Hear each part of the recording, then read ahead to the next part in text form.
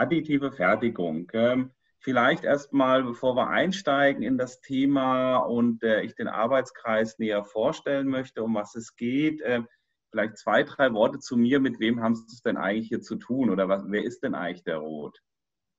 Mal kurz gucken. Jetzt. Hier sehen Sie mich mal, also rechts noch in jungen Jahren auch mit der bereits schon mit der Begeisterung für den Kunststoff in die Wiege gelegt oder ähm, wie man sieht, unschwer ähm, das hat sich fortgepflanzt. Äh, mittlerweile dann ähm, habe ich ein Studium der Kunststofftechnik, habe an der Fachhochschule in Ulm studiert und in Chemnitz. Ähm, war dann 15 Jahre im Bereich der, der Kunststofftechnik tätig, also im Automobilbereich, bin bei Hummel in Ludwigsburg, zum, äh, dort Ansaugrohre entwickelt, Spritzgießsimulation gemacht, sehr viel Verzugsanalyse und äh, in meiner letzten Station war ich in Melsungen bei der Braun Melsung AG, Medizintechnikunternehmen und habe mich mit der Entwicklung von Medizinprodukten beschäftigt. Wie man dort unten sieht, beispielsweise solche Infusionspumpen oder auch äh, einmal, medizinische Einmalartikel. Ähm, da ging es viel um das Thema Materialauswahl, Materialoptimierung und Produktentwicklung. Äh, das waren die Themenfelder.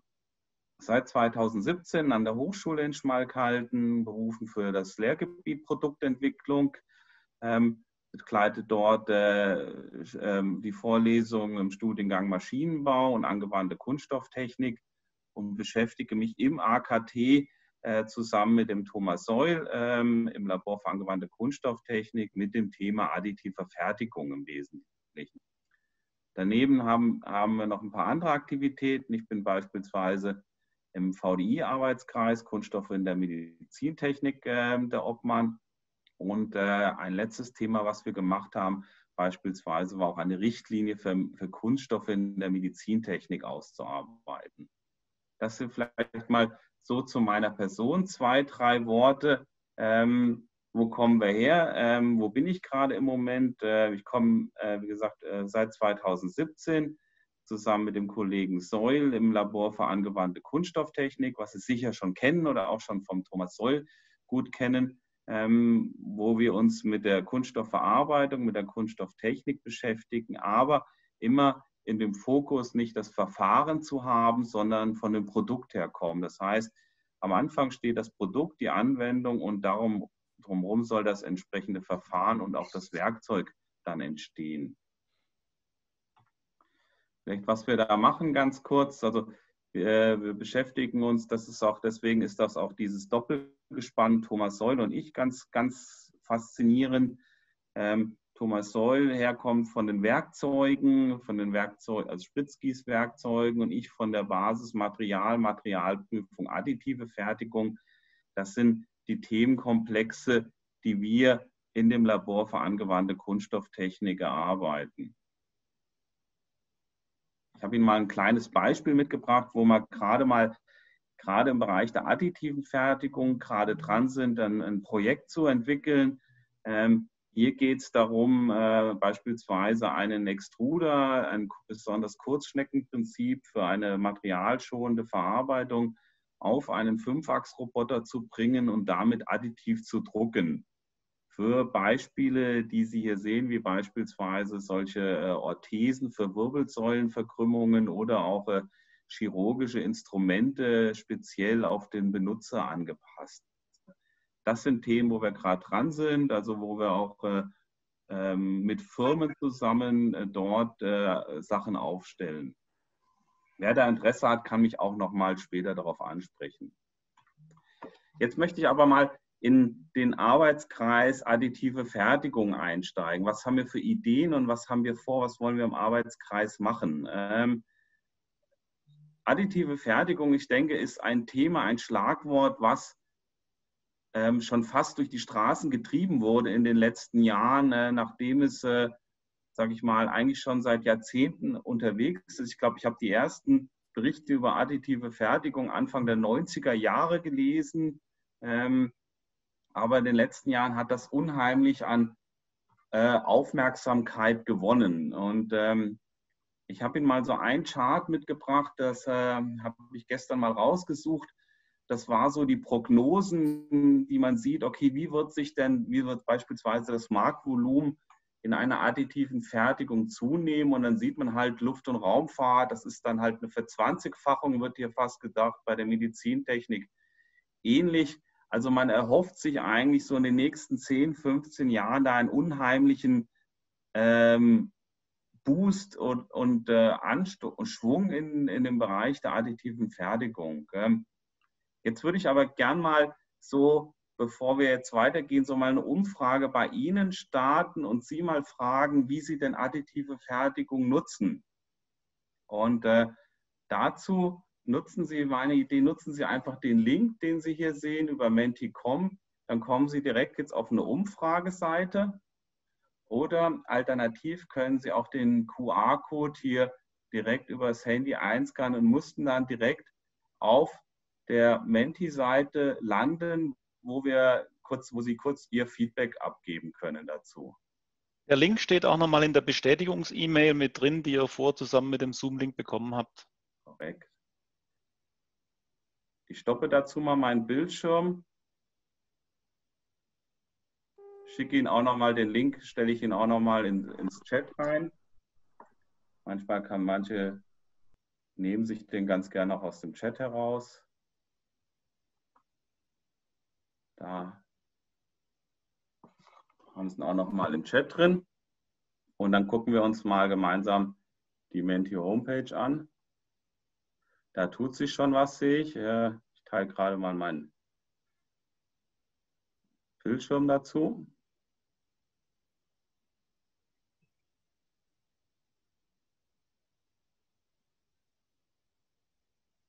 So. Da müssen Sie schon die Auswertung sehen. Also es verschiebt sich gerade noch so ein bisschen. Ja, funktioniert. Ja. Also wir sehen circa 75 Prozent, 30 haben schon abgestimmt. Ähm, wir haben, also es schiebt sich schon so in die Richtung 3, 75 Prozent nutzen das in Unternehmen, 23 Prozent äh, nutzen es noch nicht. Ähm, das ist ganz spannend. Wir schauen mal in eine Umfrage rein, die ich dazu mal gemacht habe, die ich mir mal gezogen habe dazu. Dazu, dazu muss ich den Bildschirm nochmal wechseln. Gehe wieder auf die Präsentation. Äh, wo habe ich denn den? Einen Moment.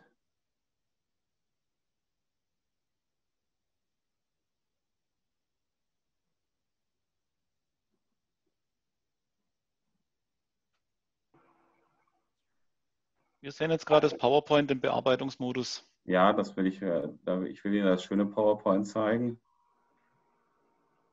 Aber das gibt er mir nicht mehr in der Auswahl her. Klar, Moment.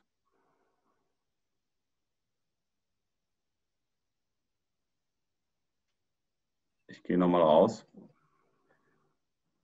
Mach es nochmal auf.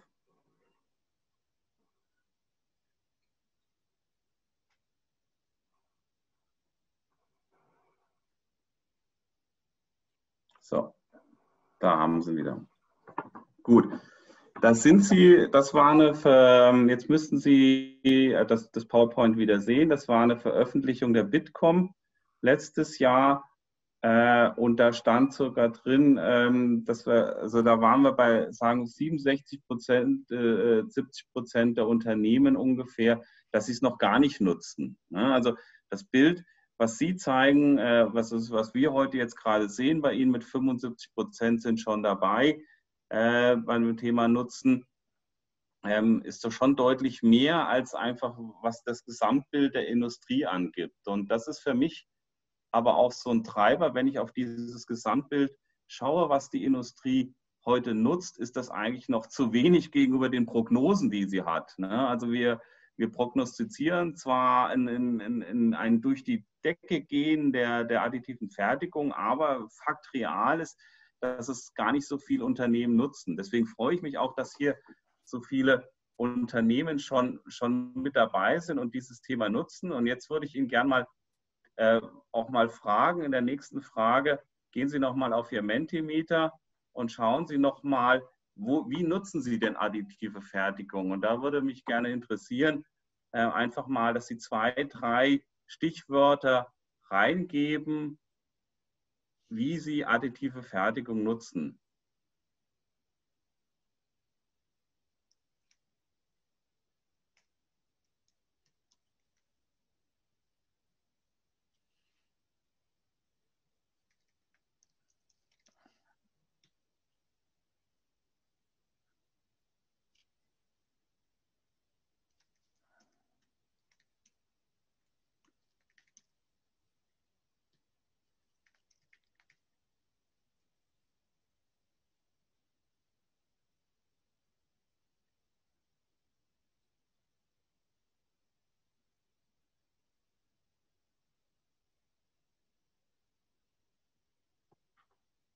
Also wir sehen schon, da kommt eines, einige nutzen es im Bereich der Kühlung, des Werkzeugbaus, konturnahe Kühlung, äh, viel im Prototyping,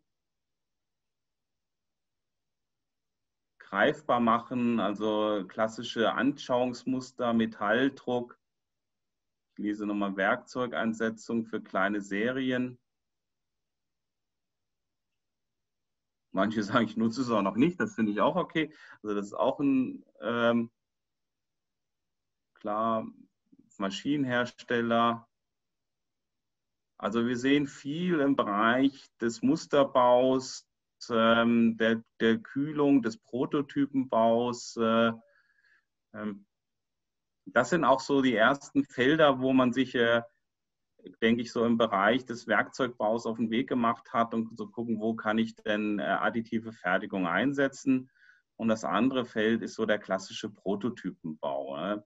Ist für mich mal schön, auch interessant zu sehen. Also warum mache ich das? Ich möchte auch gern so sehen, wo, wo kommen die Leute her, die sich für, für additive Fertigung interessieren, beziehungsweise additive Fertigung einsetzen. Und das ist ein schönes Bild, schon bei 30 Leuten, wo drei Viertel äh, schon das Einsetzen zu sehen, wo sind denn die, die Schwerpunkte. Als Absicherung im Spritzgießen sehe ich, lese ich ja auch äh, Druckgussformbau.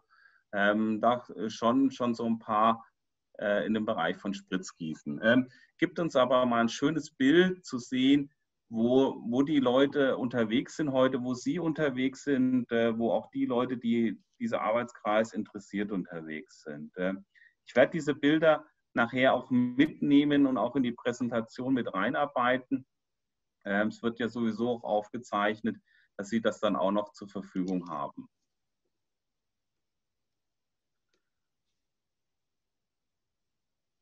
Gut. Jetzt möchte ich wieder zurück in die Präsentation gehen. Ähm, das Thema also die Message ist, also wir haben additive Fertigung, wir setzen es auch schon ein im Werkzeugbau, aber eigentlich noch zu wenig, äh, wenn man die Prognosen sich anschaut, die wir hier haben. Also äh, die Prognosen, wo wir sagen, es geht eigentlich steil bergauf. Und äh, da möchte ich auch mit dem Arbeitskreis oder da wollen wir vom VDWF mit dem Arbeitskreis reingehen in das Thema additive Fertigung. Und das war auch unsere Idee, warum haben wir diesen Arbeitskreis gestartet. Äh, die Idee war einfach zu sagen, wir wollen diesem Arbeitskreis äh, mit dem Arbeitskreis mehr Raum geben für die additive Fertigung im VDWF. Ähm, einfach auch ähm, ein Plenum schaffen, ein Forum schaffen für den Austausch. Und das ist eigentlich so das, das Wichtigste, ähm, wo, was diesen Arbeitskreis ausmachen soll. Äh, wir, wir möchten da Leute zusammenbringen, die sich mit additiver Fertigung auseinandersetzen, die sich damit beschäftigen, die vielleicht auch sehr viel tief drin sind und auch natürlich Leute, die sagen, ich habe noch gar nicht so viel, so viel Berührpunkte oder ich weiß gar nicht so richtig, ist additive Fertigung was für mein Werkzeug oder Prototypenbau und wo kann ich ihn denn einsetzen? Ne? Das ist auch das, was ich auch immer erlebe an der Hochschule. Es kommen immer wieder Firmen äh, zu uns an die Hochschule und fragen, ja, ähm, ich lese additive Fertigung, Additive Manufacturing, das ist wichtig, das, das ist, äh, ist eine Zukunftstechnologie. Was kann ich denn da machen oder wo kann ich mich denn da finden? Ähm, also vieler liest, äh, wenn man da einsteigen will, geht man über die Form Next oder über die Repetec, findet 25.000 Anbieter, sage ich mal, und Dutzende Verfahren und äh, geht am Ende, wenn man neu ist, auch orientierungslos aus der Halle wieder raus, mehr oder minder. Und äh, das ist eigentlich auch, ist zum Beispiel für solche Leute, die in den Bereich dort reinkommen oder sich damit beschäftigen möchten, auch da ähm, ein Plenum zu finden für den Austausch und sich Informationen auch abzuholen, ohne dass äh, die, die Info einen erschlägt. Und äh, das möchte ich gern mit diesem Arbeitskreis bewirken, zu sagen, okay, sich auszutauschen, Experten, Einsteiger, Experten untereinander, Experten mit Einsteiger, Neues kennenzulernen, auch neue, neue Entwicklungen zu zeigen, sich anzuschauen, durchaus auch her, herzugehen, zu sagen, okay, wenn jemand ist, der sehr, schon sehr viel macht oder im Bereich einer konturnahen Kühlung beispielsweise schon sehr viel macht, zu sagen, okay, wir ähm, mal die Möglichkeit zeigt, wie mache ich äh, additive Fertigung, wo setze ich es denn ein, also auch mal vor Ort sich Sachen anzuschauen, ähm, durchaus auch ähm, mit einem Thema gespickt mit Informationen, mit Beiträgen ähm, in den Bereich zu gehen, äh, auch in Institute zu gehen, die relativ viel machen, also auch so, so ein Link zur, zur Wissenschaft, zur Forschung und zur Anwendung zu finden. Das ist so, so die Idee. Ähm, und mir geht es eigentlich darum, ähm, einen, einen Arbeitskreis zu bilden für den Anwender, additive Fertigung für den Anwender. Also für jemanden, der es benutzt, äh, durchaus auch, äh, dass da ein Werkzeughersteller dabei ist, äh, durchaus äh, ein Maschinenhersteller dabei ist. Aber mir geht es immer ähm, darum zu sagen, wir wollen das um die Anwendung drumherum, diesen Arbeitskreis stricken. Das ist mir aber, ähm, kann ich nicht ohne Ihre Hilfe machen und deswegen ist mir heute auch das so ein zentrales Thema des Arbeitskreises zu sagen, okay, wo wo können wir denn einsteigen in den Arbeitskreis oder was könnten Themen sein und wie kann ich für diesen, äh, bei diesem Kickoff heute mitnehmen, auch äh, in welche Themen wir äh, reinsteigen sollen, wie, wie, welche Konzepte wir entwickeln sollen, einfach um den Arbeitskreis mit Leben zu füllen. Weil die Idee ist schon zu sagen, einen lebenden Arbeitskreis zu sagen, wo Sie eine regelmäßige eine Regelmäßigkeit drin haben, in Form zu sagen, wir machen regelmäßige Treffen oder wir machen ein regelmäßiges Seminar oder auch ein regelmäßiges Online-Seminar. Das könnte durchaus sein. Ähm, dazu möchte ich jetzt, brauche ich jetzt auch nochmal Ihre Hilfe ähm, und habe drei, vier Themengebiete unter diesem Link vorbereitet. Also das ist ein Padlet, das ist mehr oder minder ein schwarzes Brett, was Sie gleich sehen. Es ist ein weißes Brett in dem Fall, eine Art Whiteboard. Und äh, dort habe ich verschiedene Themenfelder für Sie schon mal vorbereitet. Nutzen Sie den Link. Ähm, ich gebe Ihnen auch gleich nochmal den Link ins, äh, in den Chat rein. Steht, wie gesagt, auch in der E-Mail drin, die alle Teilnehmer erhalten haben. Genau, genau. Stopp dazu mal die Präsentation. Ich gebe Ihnen den Link in den Chat rein und gehe mit Ihnen mal gemeinsam auf diesen Padlet-Link. Jetzt müssten Sie ihn sehen, den 11 Uhr Loch-Link. Ähm, Sie sehen da vier Themenfelder, die ich Ihnen eröffnet habe. Äh, ein Themenfeld ist mir, was erwarte ich mir vom Arbeitskreis? Da wäre es schön, wenn Sie wie eine Art Post-it dahin pinnen und sagen, was, was äh, ich habe mich heute hier eingewählt und ich habe eine gewisse Erwartung. Und äh, das würde ich mir wünschen vom Arbeitskreis oder so da. Das ist so, was mich bewegt oder was mich antreibt, dann auch zu diesem Arbeitskreis teilzunehmen. Dann eine klassische zweite Spalte Themenfelder. Also welche Themen interessieren mich? Das wäre für uns wichtig zu gucken, okay, in welche Themenfelder soll es denn so reingehen? Und dann das dritte, der dritte Block ist, wie wollen wir uns organisieren? Also was ist mir denn lieb so als Teilnehmer? Möchte ich, reicht mir das, wenn ich das rein online mache oder sind mir Treffen vor Ort wichtig? Äh, in welcher Regelmäßigkeit wäre das für mich denn machbar oder abbildbar. Das wären so, so die Themen. Und dann habe ich noch äh, die vierte Spalte, ist die klassische, äh, was ich noch loswerden möchte, äh, was, äh, was mir gefällt oder wo äh, weit für, Raum für weitere Kommentierungen. Das Ganze sehen Sie schon, ist anonym. Sie können, wenn Sie wollen, auch Ihren Namen noch dahinter schreiben. Aber sollte erstmal, möchte ich erstmal das Ganze als anonymes äh, durchaus äh, Mittel darstellen haben. So, jetzt muss ich mal selber drauf gucken. Muss es mir mal so reduzieren, dass ich sehen kann.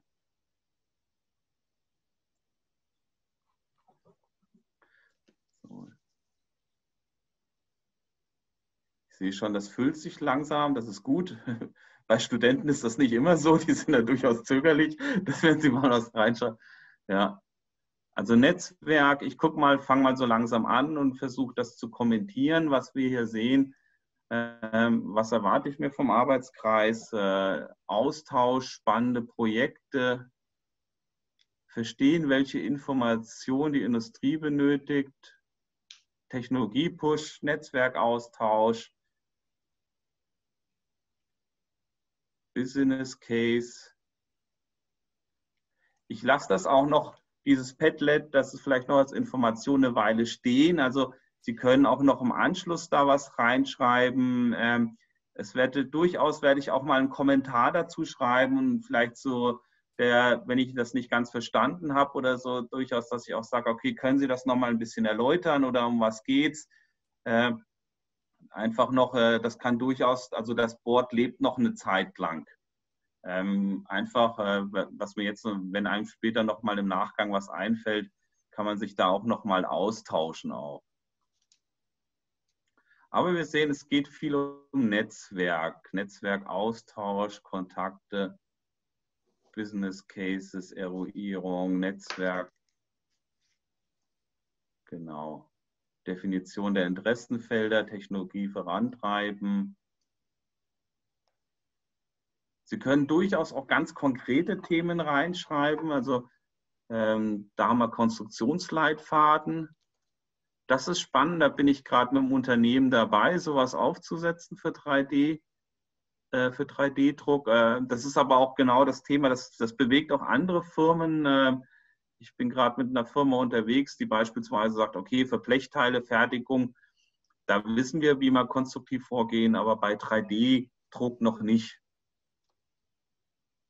Simulation von optimierten Werkzeugen, also wahrscheinlich reden Sie die Kühlung, Materialentwicklung FDM, auch spannendes Thema. Kunststoff und Metall, ähm, das ist auch ein gutes Thema, Kunststoff und Metall. Ähm, es ist immer so, so gefühlt manchmal so eine Trennung im 3D-Bereich da. Da gibt es die Leute, die Metall drucken und die Leute, die Kunststoff drucken. Und äh, ähm, für den Arbeitskreis möchte ich da auch gar keine Trennung ziehen, weil beides ist, sind, sind Verfahren, die wir am Ende brauchen, um etwas zu realisieren, um eine Anwendung zu realisieren. Manchmal ist es der Metalldruck, manchmal ist es im Prototypenbau auch nur der Kunststoffdruck. Also da werden wir auch für beides da sein. Da geht es viel um Werkstoffthemen, Verschleiß, Standzeit, Grenze, ein Benchmark der Verfahren. Da kann ich auch noch was sagen zu Benchmark. Da wird der Steffen Ritter auch nochmal im 11 Uhr Loch ein, ein, ein, Post, ein Thema adressieren, also nochmal die Verfahren äh, zeigen und gegenüberstellen. Halten Sie da mal die Augen auf. Äh, Steffen Ritter, mit dem habe ich gestern gesprochen, der wird auch noch, äh, hat gesagt, okay, ich bin auch mit dabei beim Arbeitskreis. Das heißt, also wir haben da auch noch ein bisschen mehr von anderen Hochschulen auch noch ein bisschen Feedback zu dem Thema und Input. Erfahrung mit Herstellern, verschiedene Technologien, Anwendungsfelder, Simulation, wo geht die Reise hin, Werkstoffe, ja. Ja, also das ist schon, es sind schon eine ganze Reihe Themen, das ist gut, ähm, das hilft uns sehr zu gucken, wo kann es hingehen wie wollen wir uns organisieren, Mischung online zum Start, regelmäßige Video. einmal pro Monat per Webmeeting. Ja, gelegentlich äh, vor Ort, generell online. Online, um viel Zeit und Kosten zu sparen. Ne? Das ist schon, da zeigt sich schon mal ein Trend in Richtung Online. Ähm, das nehme ich so mit. Ähm, online mal um, ergänzt um Präsenzveranstaltung punktueller Art, ähm, finde ich aber, hört sich so für mich schon ganz praktikabel an. 3D, 3D Summit Schmalle. Ähm, ja, ist auch eine Form, ist eine schöne Idee, nehme ich mit. Sondierung in Interessengruppen. Ja, okay. Gut, aber das ist schon mal, ähm, für das 11 Uhr Loch ist das mir schon mal, ist das schon mal eine wichtige Sammlung, eine wichtige Input-Sammlung, die ich jetzt noch äh, weiternehmen möchte. Ähm, wie gesagt, nutzen Sie das noch eine Weile, schreiben Sie gerne auch dezidierte Themen rein, die Sie interessieren. Ähm, schreiben Sie auch mögliche Partner rein, die Sie sich wünschen, sagen, der sollte vielleicht mit dabei sein. Ähm, aber ist für mich so ein Startpunkt jetzt auch, und das war mir wichtig heute auch für den, den Arbeitskreis, einfach hier zu sagen, ich sammle hier mal Sachen ein, ich sammle Input ein, äh, in welche Richtung es geht. Und daraus wollen wir jetzt im VDWF weiterhin ein Konzept äh, stricken. Ich wechsle nochmal auf die Präsentation. Ähm, und möchte mit Ihnen eigentlich schon mich erstmal bedanken für Ihr Feedback. Also mir ist wichtig einfach für diesen Kickoff, das war jetzt schon ein ganz kleiner Kickoff, ähm, dass wenn sowas nicht passiert wie Charlie Braun am Ende, dass man einfach äh, beim, beim Anstoß daneben tritt. Äh, deswegen war mir Ihr Input wichtig, zu sagen, okay, so gucken so mal in die Reise. Ich habe da Interesse, äh, welche Themenfelder könnten angesprochen werden. Und äh, mit Ihren Ideen wollen wir jetzt einfach loslegen und daraus auch einen Arbeitskreis bauen uns. Äh, und ich sage vielen Dank und würde jetzt auch gleich in die Diskussion einsteigen und möchte eigentlich schließen mit einem kleinen, kleinen Zitat von, von Tom Peters, der mal in den 90er Jahren so einer der ersten ähm, Managementbücher Innovation Cycle, also der Innovationszyklus geschrieben hat, was treibt äh, uns in Zukunft voran. Ähm, ganz interessantes Buch, kann man sich mal, mal zur Seite nehmen und mal lesen, weil er hat schon viel gut vorhergesagt, was heute eingetroffen ist bereits. Und äh, er hat aber einen schönen Satz gesagt und äh, der immer gesagt hat, whoever tries the most stuff, uh, who wins. Also wer das meiste ausprobiert, wird zwar immer auch viel falsch machen, aber am Ende wird er gewinnen, weil er am meisten probiert hat. Und so will ich es eigentlich auch mit dem Arbeitskreis handhaben. Ich will viele Sachen ausprobieren. Ähm, ich freue mich auch für Feedback. Manche Sachen werden nicht funktionieren. Äh, die können wir dann zur Seite legen, aber die guten, die funktionieren, werden uns dann auch alle was nützen. In dem Sinne, herzlichen Dank. Und jetzt würde ich einfach mal an den Herrn Bürwächter übergeben und auch an Sie übergeben und sagen, lass uns mal vielleicht ein paar paar Inputs noch sammeln und ein bisschen diskutieren über das Thema VDWF, Arbeitskreis, additive Fertigung. Herzlichen Dank erstmal soweit.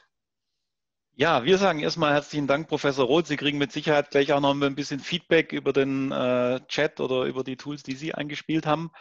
Ähm, einmal danke für, für den äh, klasse Kickoff und auch für die basisdemokratische Einbindung aller Beteiligten, die mitmachen wollen.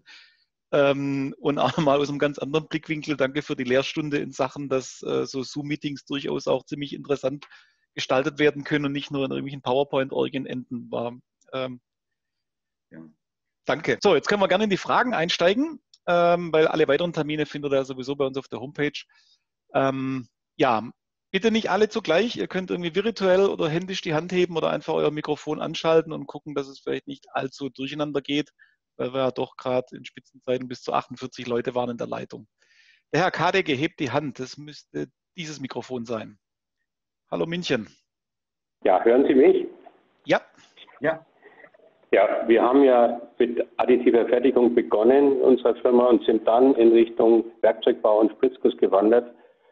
Ähm, wir haben damals mit Städtografie begonnen, haben dann das Sinn dann ausgelassen und machen jetzt FDM und bauen auch eigene Drucker für Spezialanwendungen, zum Beispiel sehr weiche Werkstoffe.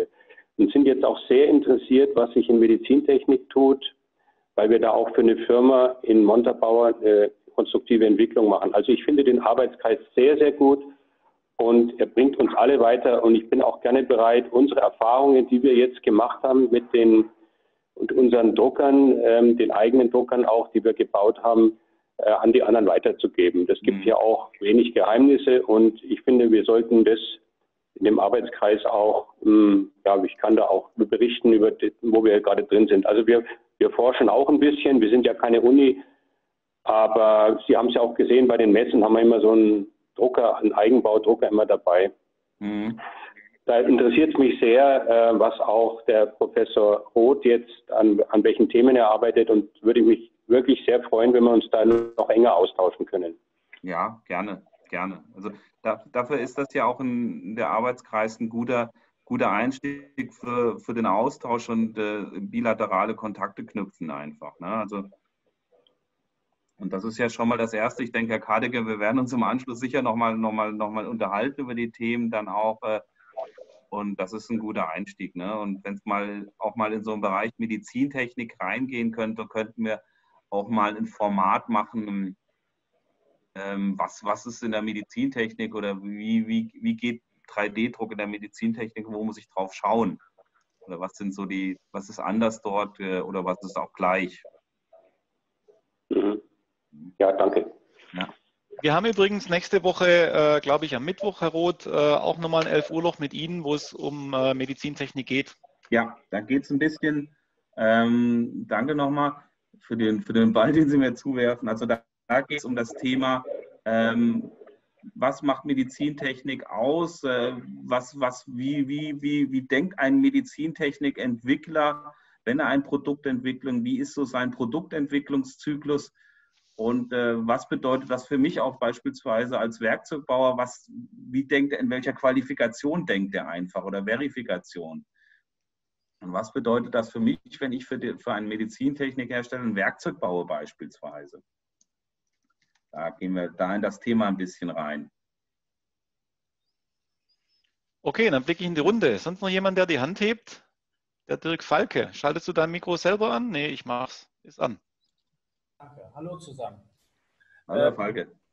Spannendes Thema, vieles haben Sie schon gesagt. Äh, was mich so bewegt, ist die Begrifflichkeit der Verfahren. Da geht es also ganz gründlich durcheinander. Die Medien, die 0815 Medien haben das aufgegriffen. Alles ist heute 3D-Druck. Es geht gerade gnadenlos durcheinander.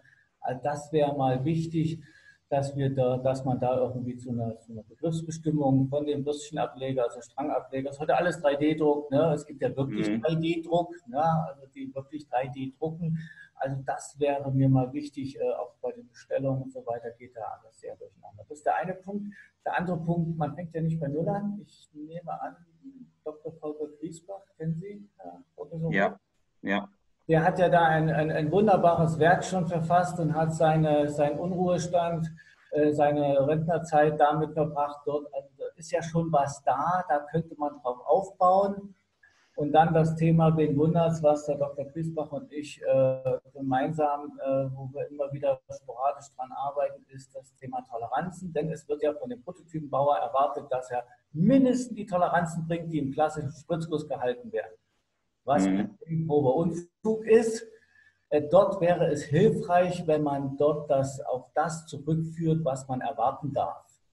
Mhm. Den Prototypenbau, ich befasse mich damit auch sehr lange schon. Wir haben da auch ein bisschen was. Aber wenn ich es mal zusammenfassen darf, über die letzten drei Jahrzehnte ist ja irgendwo immer, reichst du dem Kunden den kleinen Finger, reißt er den ganzen Arm große Begeisterung, wenn ich hier in meinem Beratungsraum mit Teile auf den Tisch tue und man das schon mal anfassen kann. Zeichnung lesen mag ja keiner mehr, aber Teile anfassen schon. Und äh, eine anderthalb Stunde später kommt die Idee, das in Serie unter Originalbedingungen einsetzen zu wollen, das Prototypenteil. Äh, dann muss man natürlich kräftig auf die Bremse treten, da muss man Erwartungen kanalisieren und so weiter. Also das wären schon umfassende Themen, die da anstehen würden. Ich weiß nicht, kennen Sie das Buch, was der Dr. Griesbach verfasst hat? Ich kenne eins von ihm, das habe ich, äh, ist aber schon älteres, das habe ich mal gelesen. Ja, hat er noch eins geschrieben. Und dann, äh, weiß ich nicht, äh, äh machen Sie jetzt den VDI-Ausschuss, auch dort gibt es Bemühungen, das Thema Toleranzen beim 3D-Druck irgendwie äh, fassbar zu machen, eventuell auf die 16.742 aufzubauen und das zu mhm. adaptieren äh, auf den 3D-Druck. Äh, ich gebrauche jetzt auch mal diesen äh, pauschalen Begriff. Das wäre natürlich sehr spannend und das würde mit diesem Einstufungsschema auch relativ leicht gehen. Mhm. Also das wären so Themen, weil, weil dort sind immer die Erwartungen, dort gibt es auch relativ viel Streit, muss man auch mal so sagen. Ne? Ich habe ein 3D-Teil bestellt und jetzt ist das ja verzogen und jetzt sind ja da drei Zehntel außerhalb der Toleranz. Ja, ja. Kann denn das nun sein? Ich dachte, das kommt in Spritzgussqualität. Äh, äh, sowas hört man da immer wieder. Dort wäre schon noch viel zu, ja, mhm. zu, zu kanalisieren. Aber das wären schon interessante Themen. Ja. Das, ist ja ein, das ist ja ein Thema, das wir versuchen im Fachmagazin Additive Fertigung auch immer wieder zu adressieren, aufzuzeigen, dass es wichtig ist, zu schauen, wo macht eigentlich ein, ein Serienansatz Sinn, bis wohin kann es gehen und ab wo kann man die additive Fertigung im Grunde eigentlich nur als Weg zur Serie betrachten. Und da spielt mhm. natürlich, stimme ich komplett zu, auch das Thema Nomenklatur was Verfahren, was Werkstoffe, was Vorgehensweise, was Anwendungsbeispiele oder Anwendungsfelder angeht, eine ganz, ganz wichtige Rolle, damit man da auch die gleiche Sprache spricht und nicht irgendwo die falschen Erwartungen geschürt werden, was ja in der Vergangenheit leider sehr, sehr viel passiert ist und wo es viel Mühe erfordert, die Industrie und die möglichen Anwender darauf hinzubringen, dass sie verstehen, für welche Anwendungsfelder macht additive Fertigung Sinn? Ab wo ist es vielleicht eher in einem zweistufigen Prozess für einen Werkzeugformenbau zu sehen? Wo kann ich die additive Fertigung letztendlich dafür verwenden, um am Ende zu einem vernünftigen, schneller und besser zu einem vernünftigen Serienteil zu kommen? Hm. Hm.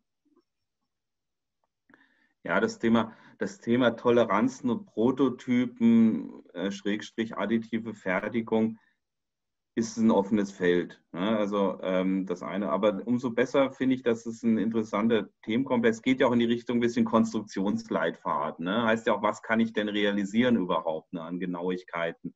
Äh, was geben denn solche Verfahren her? Ne? Also dass man da einfach auch mehr, mehr Transparenz und mehr Gefühl dafür bekommt und äh, so, so ein Themenkomplex durchaus innerhalb von so einem Arbeitskreis angehen kann.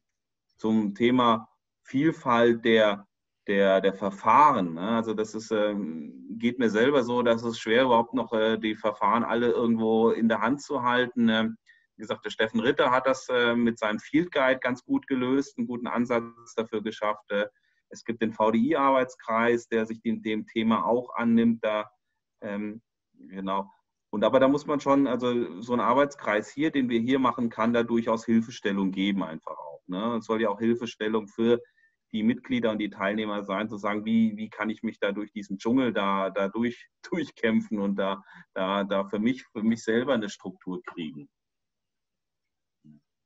Ja, ich darf auch darum werben, wenn es irgendwo Anwendungsbeispiele gibt, die zeigen, wie man mit der additiven Fertigung vernünftig zum entweder ähm, einbaufertigen Teil kommt oder eben zu einem entsprechenden Werkzeug kommt.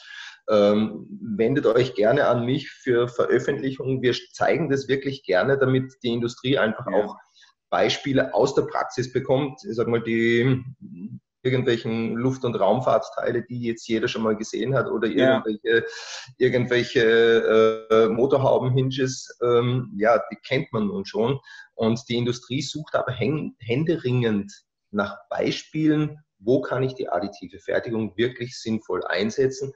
Und da braucht es einfach ja, Anwendungsbeispiele, wo sich der eine oder andere eben selber wiederfindet, wo er einfach sagt, ah, sowas ähnliches mache ich auch. Und dann versteht, okay, das ist auch für diesen Themenbereich oder für seinen, mhm. für seinen Anwendungsbereich vielleicht ein gangbarer Weg, der ihm das eine oder andere Problem löst. Jörg, schreib doch bitte kurz deine Kontaktdaten im Chat, dann hat sie jeder, der Kontakt sucht zu dir und kann dir dann das Material direkt schicken.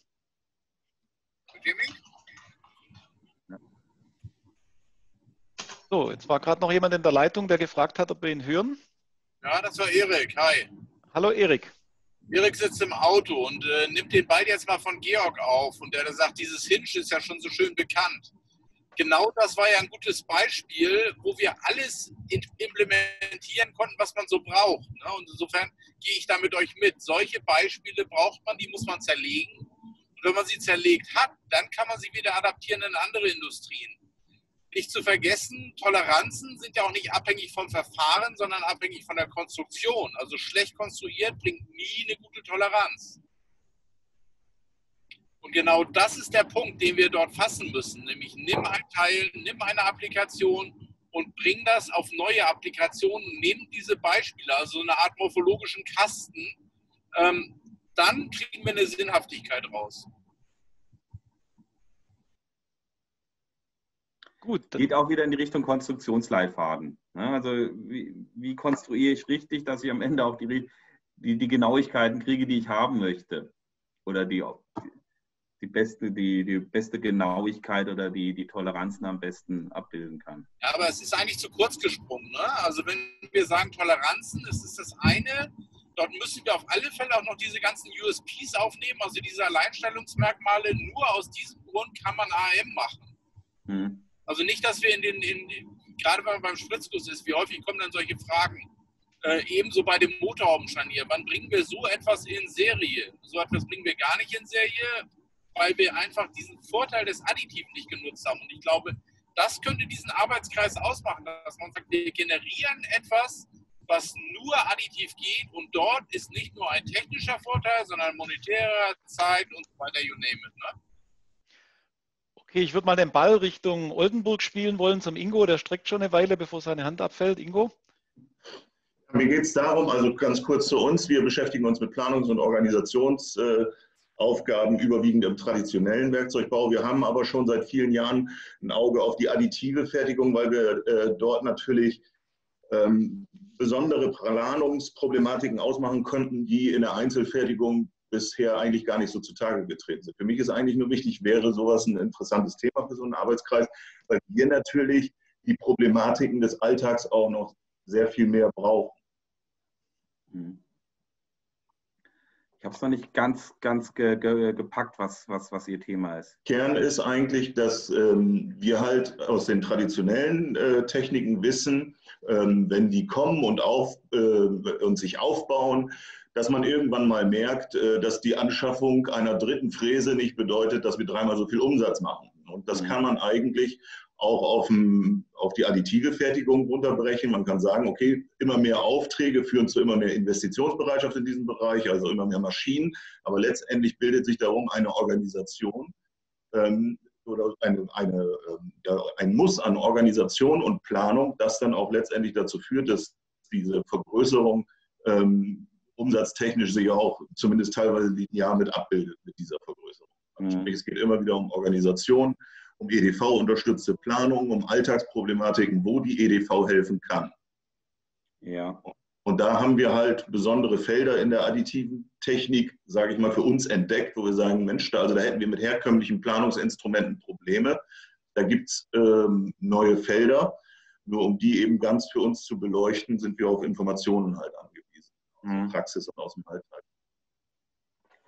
Also das ist ein Thema, was ich auch so immer so mitnehme aus der Praxis. Natürlich äh, rechnet sich das denn? Ich subsumiere mal unter wie, wie komme ich denn, wie kalkuliere ich denn richtig, wie rechne ich denn richtig und wie Sie schon sagen, wenn ich dann mal in einen Bereich komme, ich habe ähm, wie disponiere ich sowas auch? Ne? Also wie, wie, wie sind die betrieblichen Abläufe dann dazu am Ende? Ne? Ich glaube, so in die Richtung soll es gehen dann. Ne? Und äh, das ist durchaus auch mal auch natürlich ein, ein, Ansatz, wo man mal reingehen kann in das ganze Thema äh, Planung, äh, Abläufe, die ja doch anders sind bei der additiven Fertigung ein bisschen. Ne? Also auch andere Möglichkeiten eröffnen einfach, was man machen kann. Ne? Ja, genau, darum geht's. Ja. Gut, nochmal ein Blick in die Runde. Carlo, du hattest das Mikrofon offen, wolltest du auch noch was fragen? Oder war das Zufall? Ähm, ja, mir geht es mir geht's einfach darum, dass wir so im Rahmen der Dienstleistung immer wieder damit konfrontiert werden, äh, dass wir konventionell zu herstellende Teile auf den Tisch kriegen und sagen, so, die möchte ich gerne additiv haben. Und wir dann unseren Kunden sagen müssen, das macht überhaupt keinen Sinn, weil der Mehrwert in der additiven mhm. Technik nicht drin ist. Und die Erfahrung ist, dass wir dann Potenziale von additiver Technik optimal lösen können, wenn die Teile nicht nur additiv gerecht, sondern für die additive Fertigung konstruiert worden sind. Das heißt, das Potenzial, das wir additiv haben, können wir wirklich langfristig nur dann ausschöpfen, wenn die Teile mit ihren Funktionen für die additive Technik konstruiert werden. Das ist für mich noch ein komplett anderer Ansatz, der über das, was wir davor gehört haben, hinausgeht. Ja, gehe ich, gehe ich mit Ihnen völlig mit. Das ist eigentlich der, der Ansatz, wo dann die additive Fertigung richtig zum Tragen kommt und ausspielt, dass sie einfach ganz andere Möglichkeiten einer Konstruktion bietet, die wir, wir, sage ich mal, die vielleicht 20 Jahre oder 30 Jahre in dem klassischen Konstru Subtraktiv konstruiert haben, noch gar nicht so fassen können. Ne? Aber die muss man dann ausspielen. Also da finde, tut sich auch viel zu sagen, wie kann ich denn CAD-gestützt additiv konstruieren? Also vielleicht weg mal, das ist jetzt aber schon so in, in, in, die, in die Zukunft rein, weg von dem Thema, ich, ich addiere und subtrahiere Klötzchen voneinander und äh, Normkörper in einem CAD, vielmehr in dem Bereich Daten erfassen, äh, gewachsene Strukturen, Topologien optimieren über, über Algorithmen. Also da, da tut sich auch viel in dem Bereich einfach, wo sie dann so ganz andere optimierte Strukturen rauskriegen, mhm.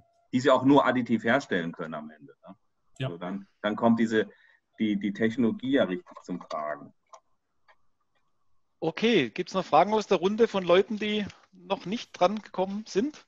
War schon mal dran, ganz kurz. Ich würde gerne nochmal zurückspringen, was der Ingo und der Professor Roth gesagt haben. Das ist schon spannend vom Durchlauf. Also wenn ich jetzt konturnahe Kühlung, ein Werkzeug verkonstruiere, ich konstruiere in 3D, natürlich von der Kontur nach außen. Ich habe meine Kontureinsätze fertig, dann kann ich die zum 3D-Drucken geben. Und in dem Moment, wenn der, Daten, äh, der Konstruktionsdatensatz kommt und die Stückliste kommt, dann kriegt er auch schon äh, die, die gesinterten Kontureinsätze geliefert und kann direkt mit dem Schlichten beginnen. Das ist schon spannend. Das verändert auch Prozesse und das verdient Beachtung. Ja. ja also das, das muss auch der Werkzeugmacher anders einplanen. Ne? Der muss, fängt nicht an, außen rücks rumzuschruppen und, und, und mal Loch reinzubohren oder so, sondern der, der kann die Schlichtelektroden bereit haben. Wenn er den Einsatz hat, kann er los äh, schlicht hm. erodieren. Das ist völlig anderes. Gut. Das sind genau die Prozesse, die wir ja. verstehen müssen. Ja, genau. Hm.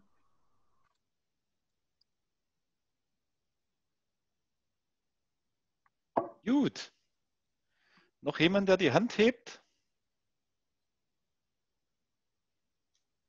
Ist es so still oder bin ich nur noch alleine da? es sind alle noch da, ich glaube. Der Herr Kadege wollte noch was sagen. Machen wir den noch mal kurz. Sie sind an. Ja, ich hab, das war sehr interessant jetzt auch. Ähm, wir arbeiten ja seit sehr lange jetzt mit additiver Fertigung. Also es ist so, man muss wirklich das unterteilen. Einmal die große Gruppe mit den Metallverfahren, Metallsintern, da gehört auch eben diese konturnahe Kühlung dazu für den Werkzeugbau. Und wir sind ja Werkzeugbaulastig hier beim VDWF aber natürlich auch Spritzguss. Beim Spritzguss ist dann diese andere Gruppe, dass man da vorab eine Absicherung macht von Serienteilen über Kunststoffteile. Kann man auch Sintern, Kunststoffsintern oder mit dem FDM machen. Ähm, das, sind die, das sind die großen Felder. Und jetzt geht es aber auch dahin, dass man jetzt auch schon Kleinserien macht. Das heißt, kein Spritzguss, sondern der Kunde will halt nur 200 Teile und da macht man kein Werkzeug, da macht man gleich alles komplett mit dem ähm, FDM zum Beispiel. Ähm, die, das sind diese großen Gruppen und äh, die einen arbeiten halt nur im, im Werkzeugbau, braucht konturnahe Kühlung etc. Die anderen arbeiten eher im Kunststoffbereich. Man muss das schon trennen. Ähm, das sind ganz unterschiedliche Anforderungen ähm, da. Und wo wir jetzt momentan die größten Probleme haben, sind die Werkstoffe. Wir haben von der Genauigkeit haben wir teilweise ähm, zwei Hundertstel ähm, hinbekommen, äh, wenn es natürlich auch entsprechend konstruiert ist. Ähm, aber das Problem war dann, dass die Kunststoffe, die man hier verwendet, eben nicht das gleiche sind wie bei einem Kunststoffspritzkurs. Und das ist das größte Problem. Da muss man einiges mal tun, dass man da bei den Werkstoffen noch Forschung reinsteckt. Und auch die Angaben, die wir oft haben von den ähm, Filamentherstellern zum Beispiel, die stimmen oft nicht. Wenn man dann selber das Ganze mal in Temperaturofen tut, dann sieht es ganz anders aus. Also da ist auch einiges, was man hier miteinander äh, klären muss. Und da gibt es auch schon Erfahrungswerte. Aber da braucht man noch, muss man noch viel Forschung machen.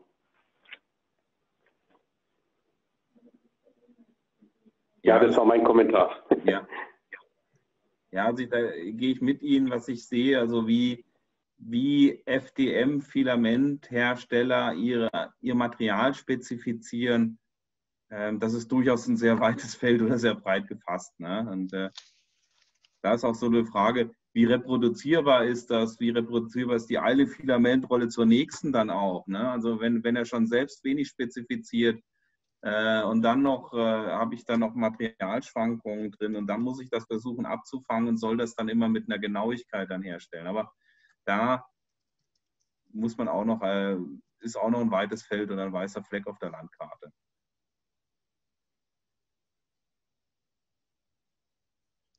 Okay, Leute. Ja. Unfassbar, wie schnell so eine halbe Stunde rumgeht. Ähm, aber die gute Nachricht ist nicht 5 vor 12, auch wenn die Uhr sagt, es ist 5 vor 12. Ähm, aber ich glaube, hier mit dem Arbeitskreis geht es jetzt erst richtig los. Danke nochmal äh, nach Schmarkalden für äh, rundum absolut mega gelungenen Kickoff und auch die kleine ja. Parallellehrstunde in Sachen, wie man Online-Meetings so basisdemokratisch äh, machen kann und Leute mit einbeziehen. Großes Kino, vielen Dank. Ja. Ich fand es auch, war, war, eine angeregte Diskussion. Äh, wir haben jetzt viel eingesammelt und werden damit jetzt weiter marschieren und äh, Sie auf dem Laufenden halten. Sorry fürs Reingrätschen. Ja, kein Problem. äh, ansonsten noch, es sind auch einige Zulieferer der Branche mit dabei, äh, Messeveranstalter und so weiter. Äh, wer irgendwie Lust hat, sich mit einzubringen im Arbeitskreis, uns fällt mit ja. Sicherheit immer wieder was ein. Äh, kommt einfach auf uns zu, wir sind da gern dabei.